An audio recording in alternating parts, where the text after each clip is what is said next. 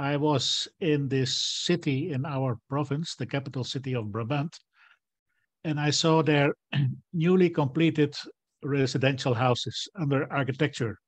These are new residential houses, and I thought, but of course, this is personal. What a great poverty. And which chance did we miss? And you see the red arrows I made into the picture. And you see everywhere those very poor uh, railings uh, at, at the windows. And I thought uh, this must this this could be done uh, in another way. Uh, and what chance did we uh, miss? my um, message is that blacksmith should get into contact with city planners or architects or budget people who are uh, responsible for the design of the buildings and uh, the, the, the the parts of the building. So in this way, the ironwork, so that you can get the chance to make some work of your craft and uh, make the cities more beautiful.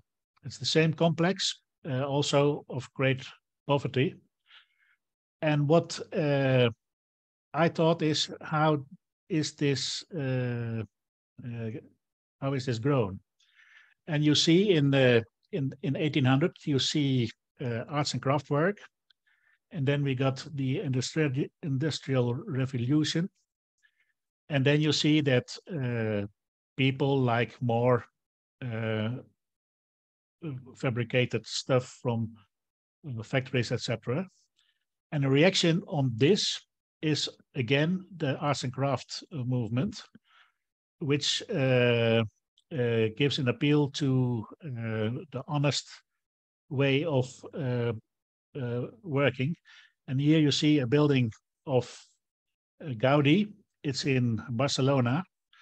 The building is called, uh, one moment, La Pedrera, the, the, the quarry.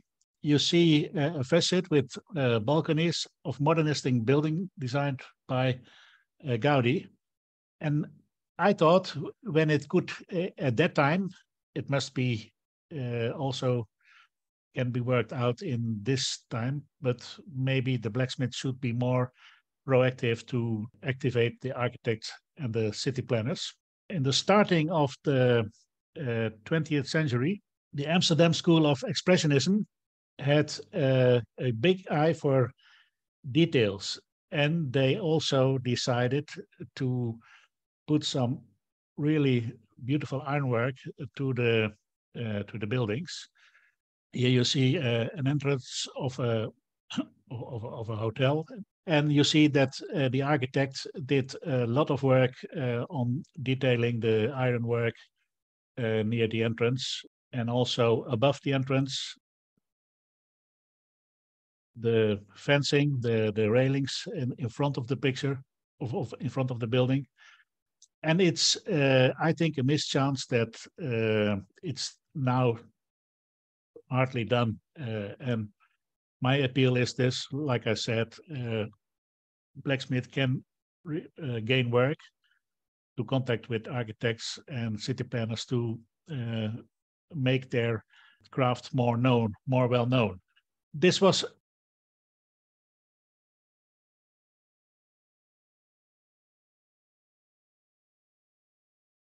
warming up for the part of John, and John is now doing his part. Okay.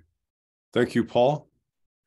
And my focus is on this famous banister, which is at the Museum of the Decorative Arts in Paris, which is adjacent to the Louvre. And it's by Louis Majorelle of Nancy, France. He inherited the furniture factory with his brother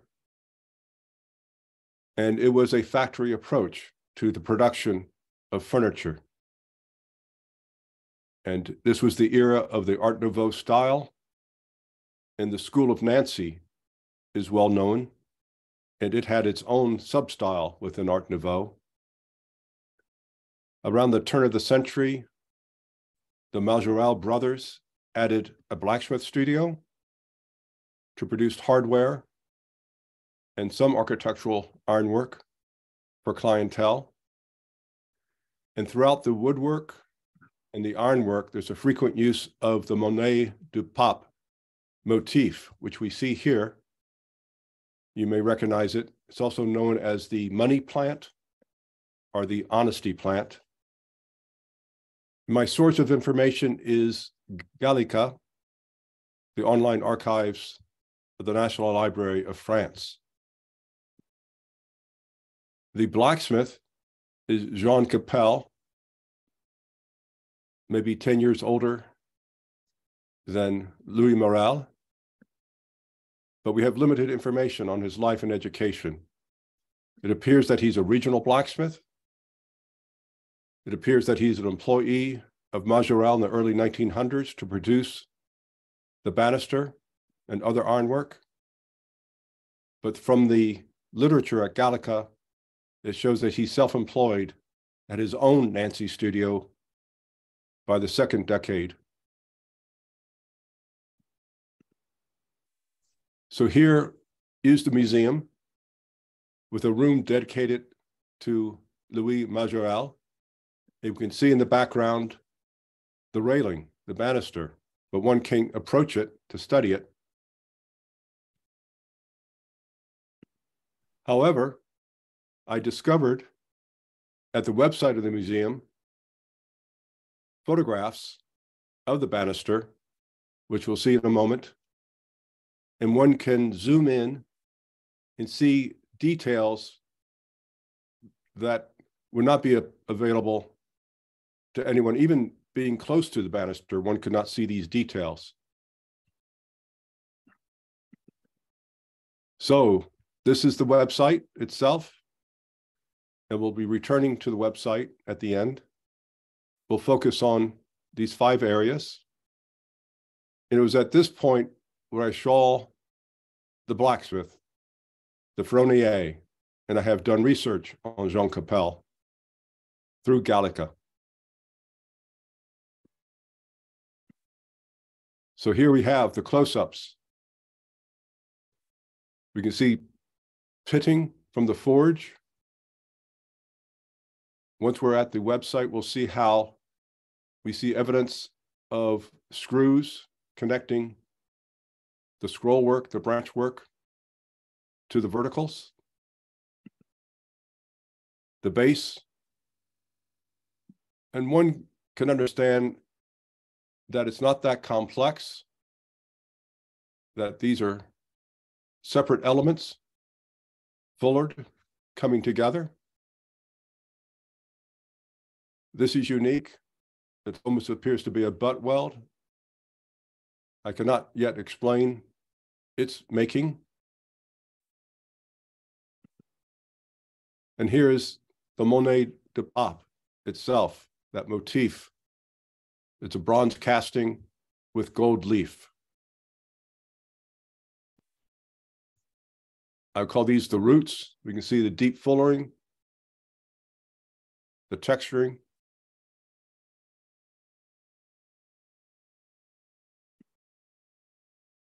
And we'll spend some time at this junction. At the time of this banister, it's 1904.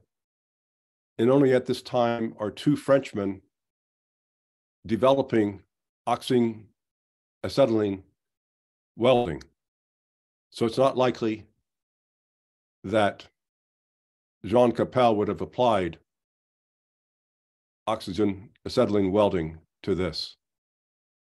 And I believe that these were three bars continuous, but then forge welded together and worked. Next slide will show here is the vertical.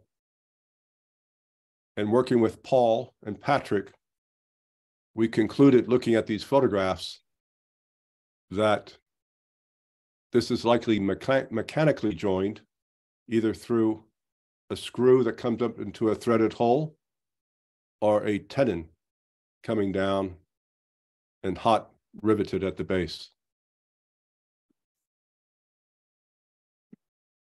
And a close-up yet again. So now we can zoom in. Look at this. So we can see a head of a screw connecting over here. And once again, the junction with the thin line.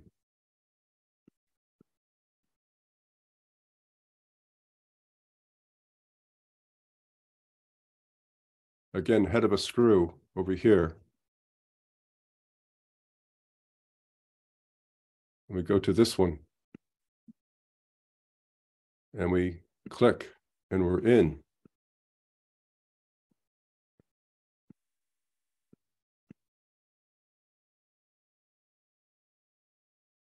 We can see other elements, mechanical junction.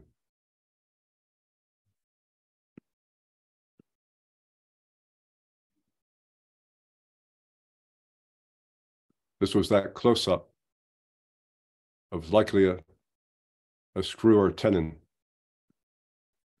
So I'm thinking this is a con one continuous bar, the second continuous bar, and the third continuous bar. And then they're forge welded together and worked until it's ready to receive the vertical.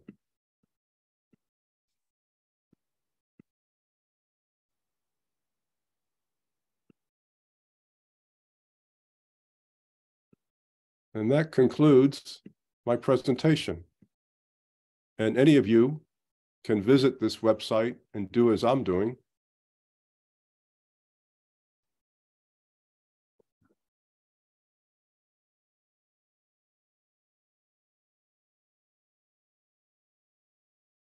Uh, it was really great presentation and uh, is that work I've seen something very similar to that carried out by is it Louis Majorelle in France at that time, that, um, that type of design. And uh, I know I've got a book on his work, and I know he was one of the ones that did experiment with gas welding uh, oh. at that early time. So, is that did that blacksmith work for Majorelle, or are they connected? Do you know?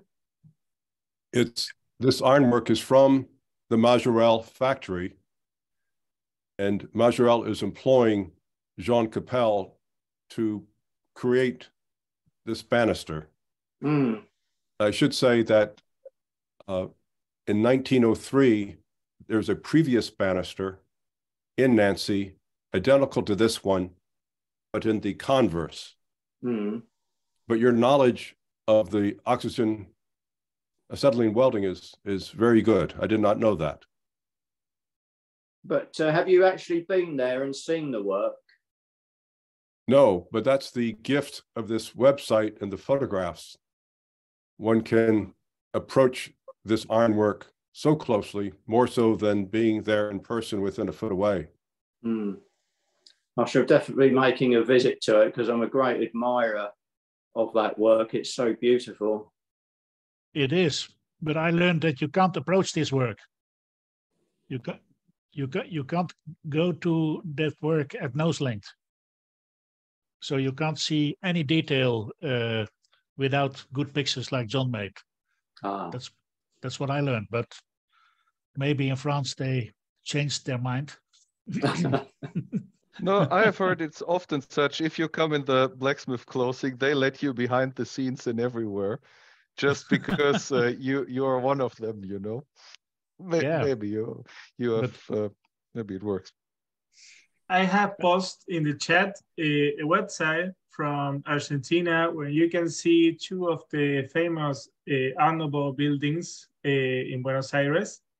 Is also from the gaudi design and is very close to um, the outside of many of the buildings in, in barcelona so maybe uh, we can find something close to that. Um, I think one of them you can uh, visit inside the other one is a house.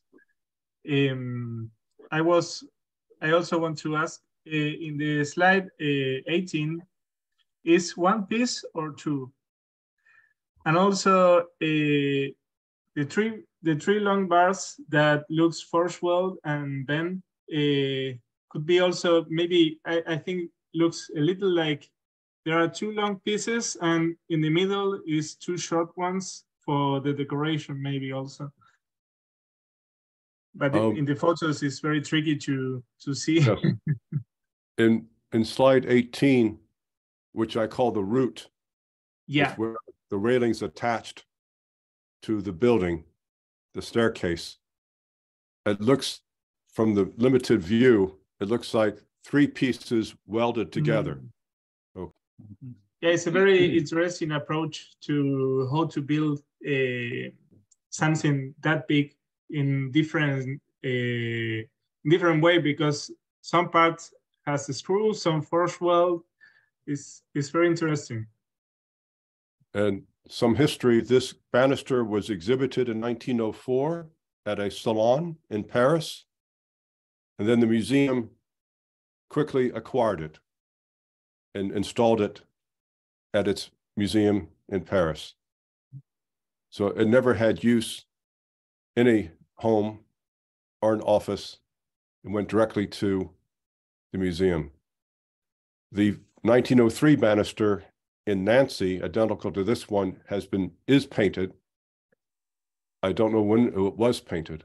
No, I, I think what you often can forget is uh, when you get in that time period, the way of joining and fixing materials together through forge welding was one of the main ways of connecting. And uh, you had such a, a high skill set. You had good quality iron, you had good quality fuel, and the practitioners were so experienced in using those materials that they were able to execute what we look at as pretty difficult things that they had the practice skill set to, to deliver those things where we'd have to take a few goes at it i think.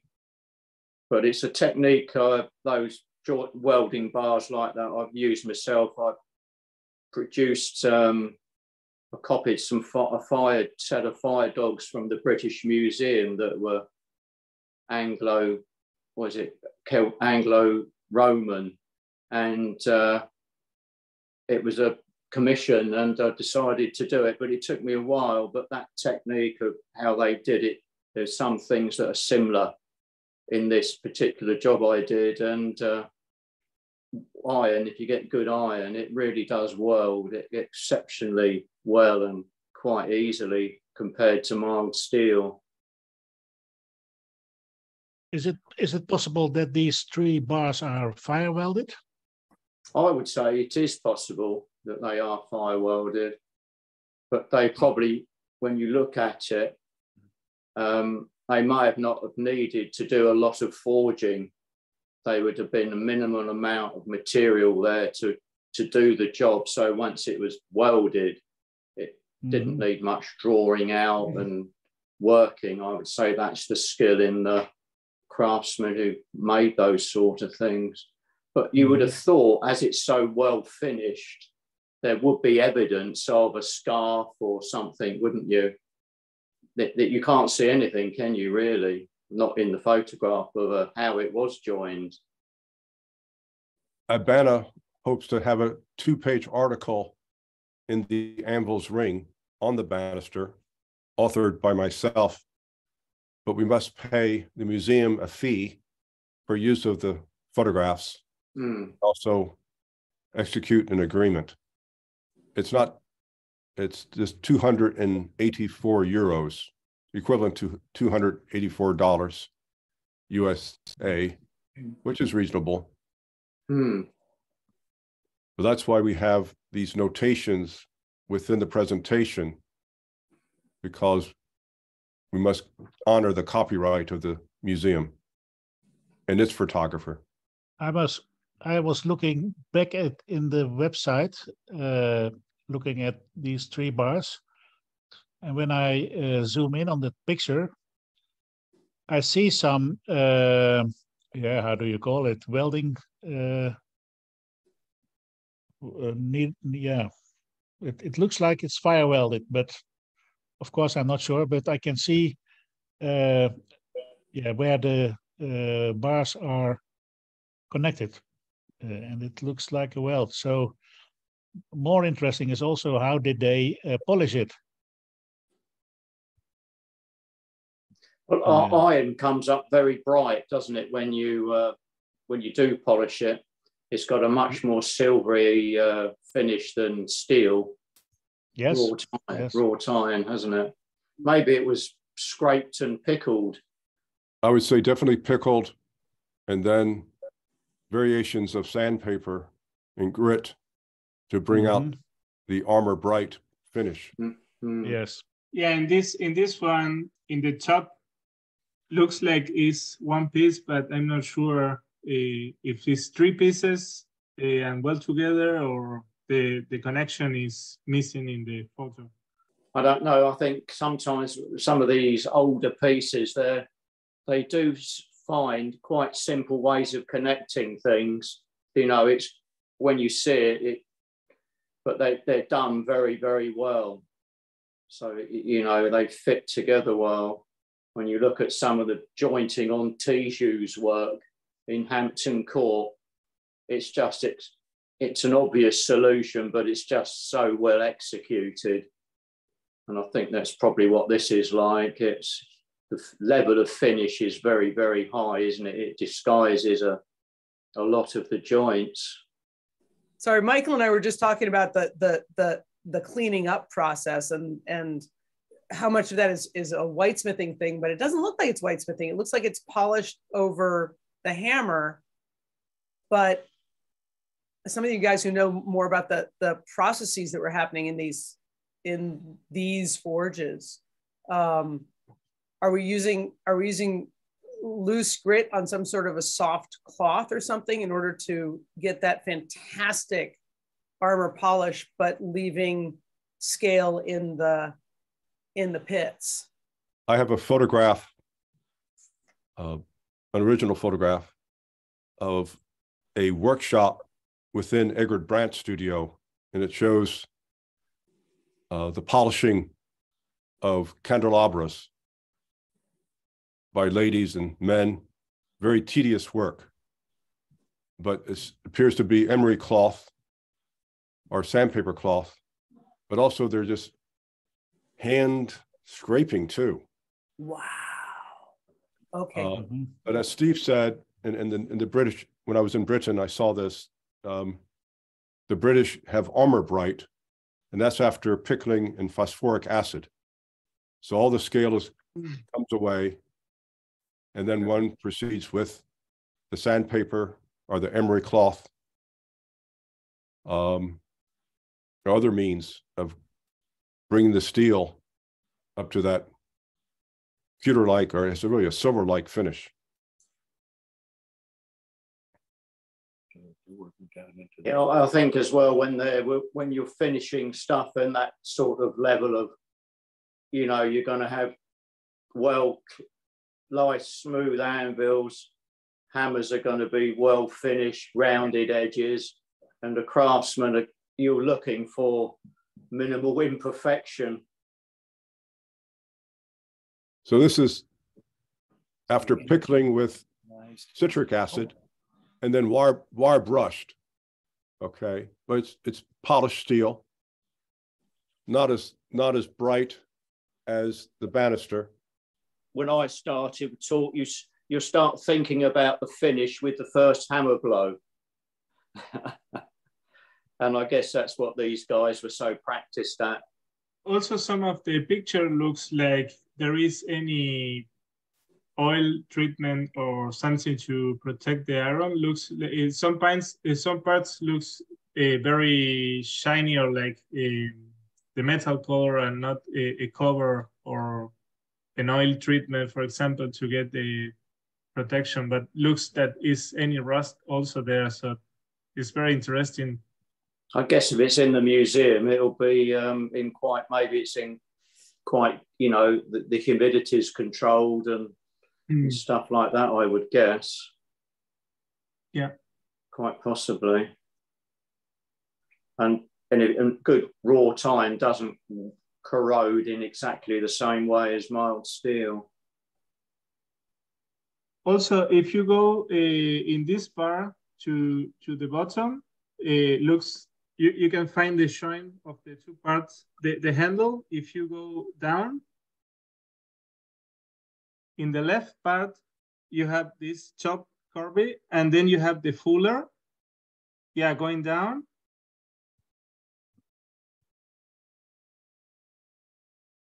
Yeah, there. When the fuller, the square fuller starts, you can see the connection in the top. Yeah, oh. there.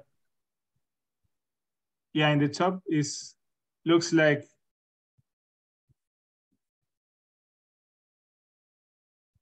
yeah there very good. Yes. Yes. It's a very interesting construction. It is. Yes, it's an interesting detail. I think it's uh, a square bar, which is uh, uh, the where the railing is laid over. Can you uh, lower it a bit, John? Yes, there. You see the screw. You, you see here. Yeah. Yeah. And I think this is a square bar. Uh, and uh, the railing is uh, made in the uh, negative square and it's mm. laid over like like uh, like this. You understand what yeah. I mean? And then it's a, a hidden. I think it's a hidden screw, so you don't uh, damage your hand when you go with your hand down to the railing. Very this, interesting. Very very genius made. This would be an excellent thesis for a master's student in graduate school to explain the entire production of the banister and then ideally recreate elements. Yes. I think also we need to think that probably the, the bars you need to install first, and then all the handle or all the rail comes later, probably.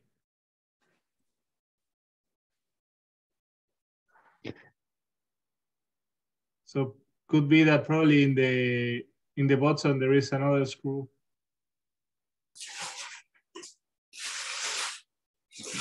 Do you know, John, if there are any uh, uh, details of the uh, how how does how the iron is uh, built up? Is it uh, only ferrum and and a bit of coal, or what is it? I no, I do not know.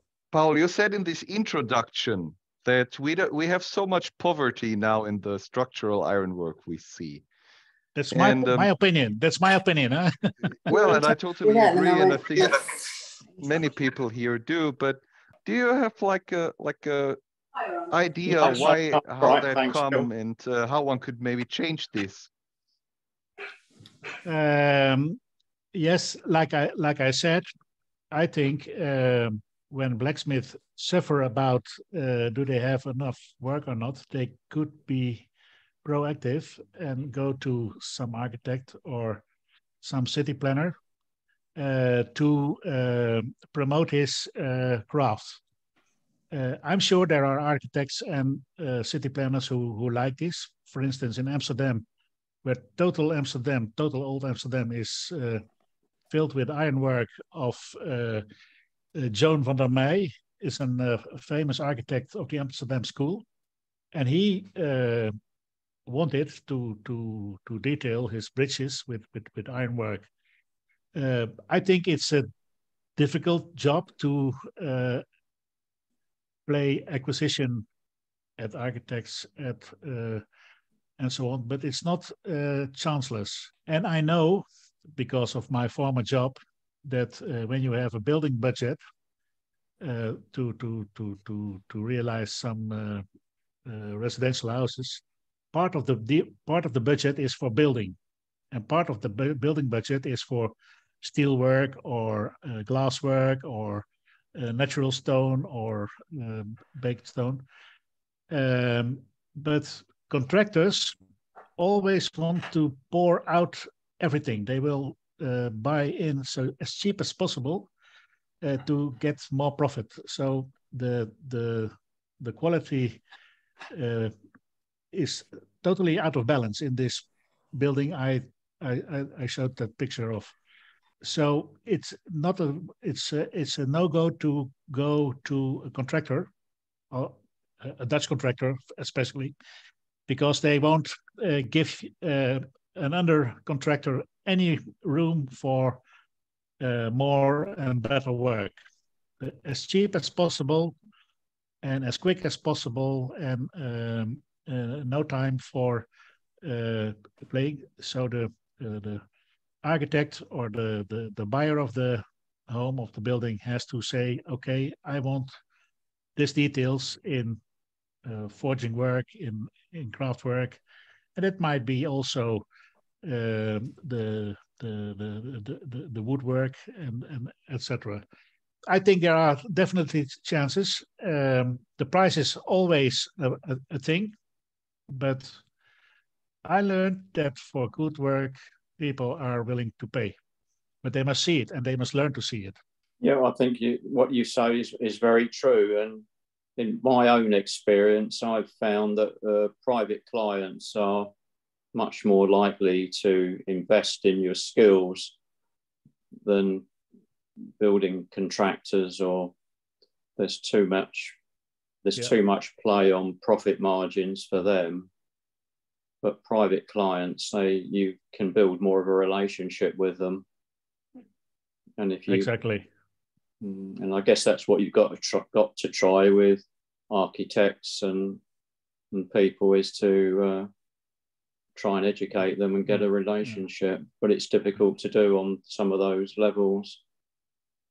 Yeah i have found also that the educate educate the customer is also important because many times i found that maybe they think is expensive and yeah sometimes the work is very expensive but in their minds is way more expensive than in reality. So many times they try to save money uh, picking very easy designs, but the a, great project doesn't need to be very expensive, and sometimes uh, they go for very easy designs instead of trying something else. So I find that you must, uh, in some ways, show the customer what are the designs, how much really costs, because maybe they, they want to avoid something and I think is in some architect, architectural works uh, or with many architects happen something like this, that they try to save money, but they pick some designs that are very ugly for the final product. And maybe you can make something great for not a crazy amount of money. So I think this is very important. This is a really old issue. There was a great set of articles done in, I think, the American Architects, whatever organization's um, journal in the 20s and 30s, maybe, by Bernard Heatherly, that was explaining forged ironwork to architects and showing examples of what forged ironwork can be and why it's cooler. And then um, and comparing it to what architects think it is and how badly they draw it and how maybe you should talk to a blacksmith and and the benefits to your work of getting a blacksmith so this is you know is at least 100 years of trying to get black uh, architects to understand what blacksmiths have to offer uh, true and it's a, a wave movement mm. this is uh, the picture five is uh, the inner side of a, uh, a, a residential apartment in Amsterdam, and you see the nice uh, blacksmithing work uh, in the staircase. This is the entrance of a, a, building in Amsterdam, a famous building, and you see that the architect Johan van der Mey um, had really uh, made really time for beautiful details in blacksmithing, also in curved uh, bricklaying, etc. Uh, but it is well known. But um, you see that then there is a new wave in architecture and uh, it goes to industrial, etc. And uh, I think uh, when now people like more the arts and craft work, there is room for for blacksmiths and other people to discuss with uh, architects and city planners about this kind of work. Um, maybe you can show the other pictures, John or Beth.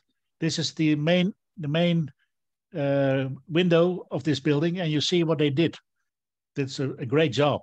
Yeah, well, actually, in this building, you can see how you can repeat the work, saving a lot of time because many Art Nouveau are very unique and very tricky to make. Yeah. This one, you can you can show something that is great, but you save also money because you can like mass produce. Uh, may, maybe the picture of Gaudi is uh, uh, you can show. Uh, I think, or this mm one. This is in Barcelona, and you see what he wanted. The uh, Gaudi. He he he made a total uh, design of the building, and this is his style.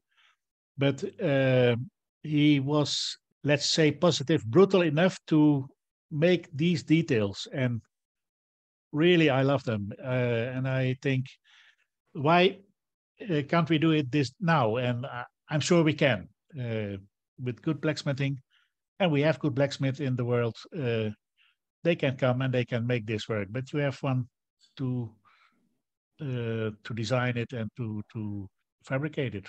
After all this talk, I would still have a question to you, Paul, because you have this background in with, with some architects, how I understood, and maybe you could give advice for these viewers, and um, I, would find it also particularly interesting how to best approach architects, because I think it, it's like at least how I have this impression, quite different mind of people often. And maybe there there would be a way like to approach them so that you know they could understand each other better.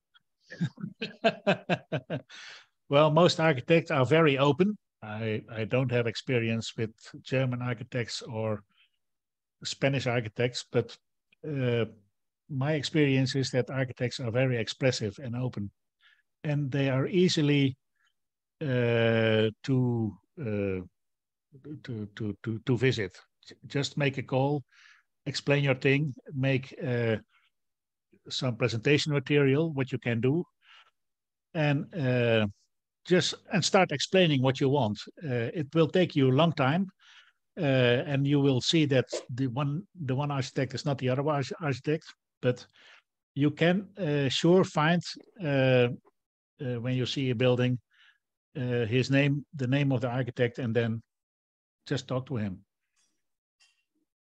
And if anyone wants to um, to get some uh, more advice, you can always ring me. Talking about architects in Spain, I was uh, talking a few months ago with the blacksmith in Spain, uh, in Santiago de Compostela, and he told me that one of the problems he found uh, is that many architects try uh, they try to use uh, modern techniques because um, they have more marketing, so looks like they work better than the old techniques. But um, this blacksmith, he, for example, used the technique to put a lead in the rock to lock the iron. And the modern techniques maybe can still for 10 years, 20 years, but this one was there for 500 years in the church. And that's the big difference. And there's where you need to teach uh, them that sometimes modern techniques doesn't work that great as the old ones.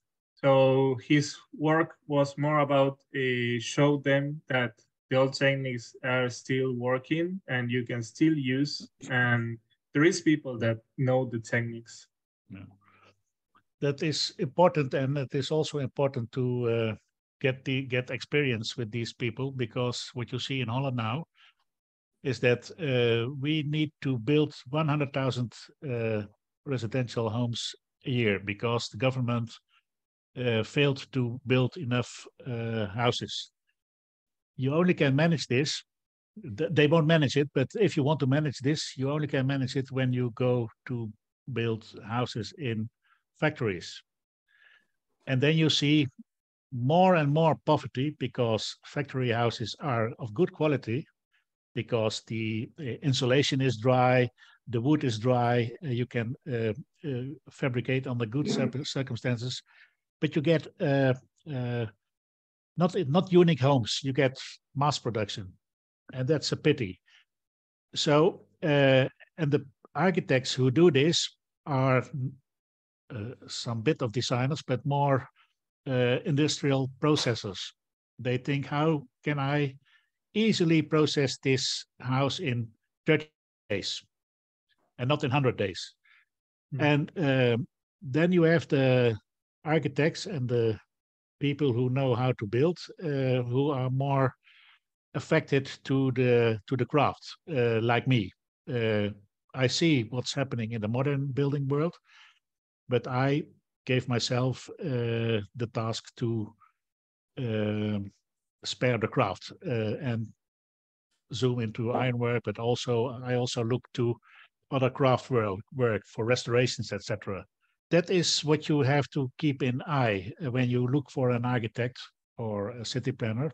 Is he has he finger uh, fingers fingerspitzengefühl with uh, what is building and what is craft work? Uh, we you all know Rem Koolhaas. That's a famous Dutch architect who made very big buildings, uh, especially in the Far East. I think he's a good architect, but he's he has no feeling with craft work. He can say his thing about it, but he doesn't know what it is.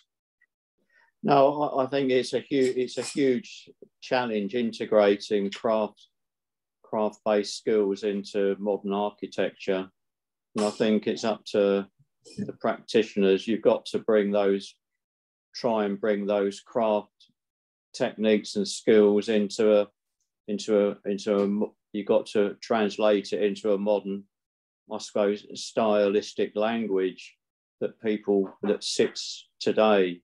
I mean, I think a lot of people do reproduce past styles too much, and uh, whilst they do sit well in some areas, I think there needs to be more exploration of using forging processes to produce designs that sit well in the 21st century. Uh, but I think it's a big challenge, and uh, so many people are totally disconnected from craft making mm-hmm. processes mm-hmm. nowadays. They have no real understanding of how things are made. Uh, they understand factory assembly and catalog ordering and assembly, but not actual creative craft practice. So we just got to keep working at it. yes, yes. It's like telling them that milk is not is that milk is coming from a cow and not from a bottle. That's it.